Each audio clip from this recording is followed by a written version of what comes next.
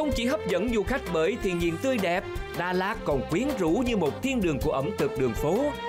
Và món ăn có thể sưởi ấm trái tim bạn khi đến với thành phố này chính là nướng ngói.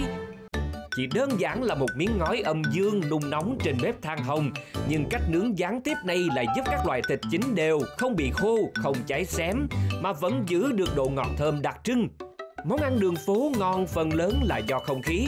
Vậy nên nướng ngói đâu đâu cũng có, Nhưng chỉ ở Đà Lạt với tiết trời xe xe lạnh Mới mang lại cảm giác thỏa lòng và thích thú đến vậy.